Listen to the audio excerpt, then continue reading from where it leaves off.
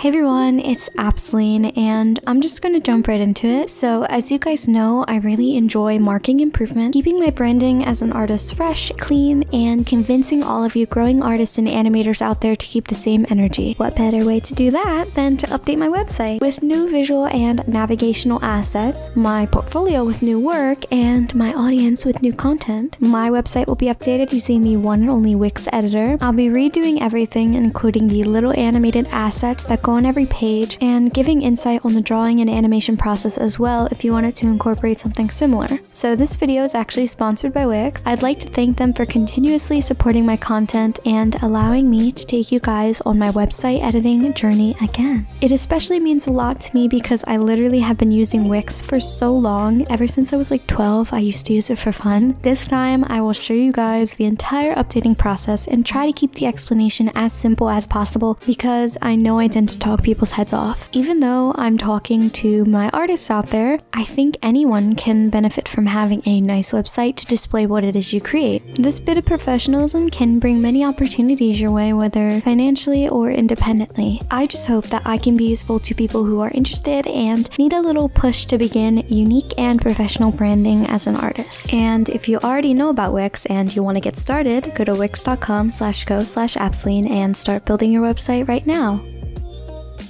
While creating these new drawings to decorate my site, I wanted to keep them very cute and kinda simple like the old one. It's important to keep assets like this quite simple if you're going to have a bunch of them on your site, as you don't want to distract the eye from your work too much, especially if they will be animated. I drew each one in a consistent, simple style with flat colors and bold line work. This will keep them looking lively and appealing, but still logo-esque when animated. Although there's no need to worry about drawing assets anyway because Wix provides a bunch of high quality images and cute vectors that are perfectly fine to use instead.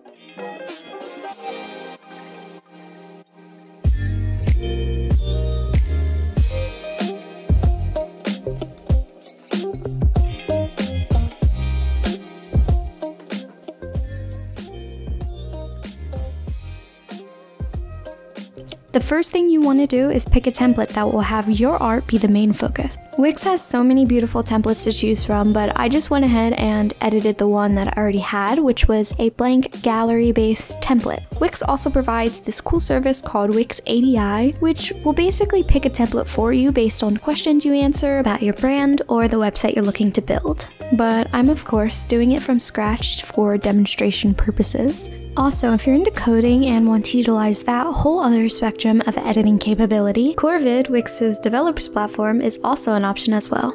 As for animating these little drawings, I explain my After Effects pin animation process further in this video, but I'll explain it briefly for you here. It's a very simple way to do an animation loop, so go ahead and get into AE, setting the composition to about 6 to 7 seconds. This loop will only need to be about 3 seconds long. First, what I do is I mask the hand from the head and put them onto separate layers by duplicating the hand layer and putting those two layers into a pre-comp. Then, to animate the head, I put pins on the face, cheeks, top of the head, sides of the hair, and bottom of the hair as you can see. After I pin everything, I set the resting pose keyframe to the beginning and the end, leaving one frame after 3 seconds for a seamless loop. Then, I'll put the middle pose, which will be the head moving up or down as you wish, so it goes from resting keyframe to middle keyframe back to the resting keyframe. Then, I'll select the keyframes and go into the graphic editor to smooth, time, and ease the motion to avoid stiff animation. This takes a lot of time and and toggling and such. Make sure you put your preview settings to loop in the selected area so you can view it and preview the animation as you go. Then I repeat all the steps for the hand and use the position tool to move the hand where I want. To make it a transparent GIF, I export it to a .mov file, import it into Photoshop, and then export it again as a GIF.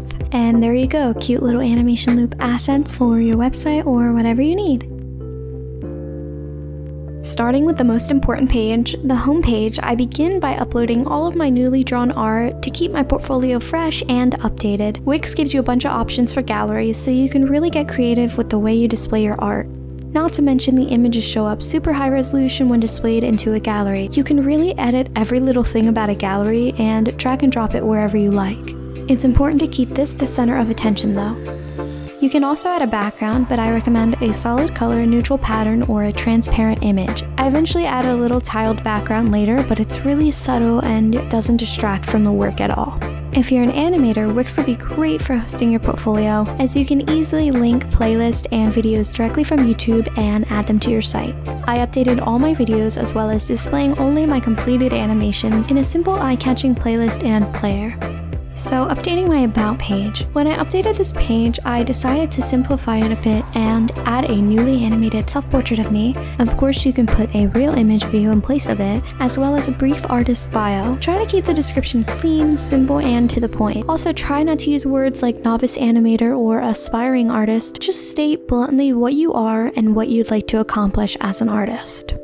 For my commission info page, I fully revamped everything. In order to keep the navigation information as clear and as inviting as possible, I incorporated these cool Wix slideshow galleries with each example of my commission work, and I honestly think it turned out super great. I also added a button that leads you directly to a landing page with an order form to fill out and contact information.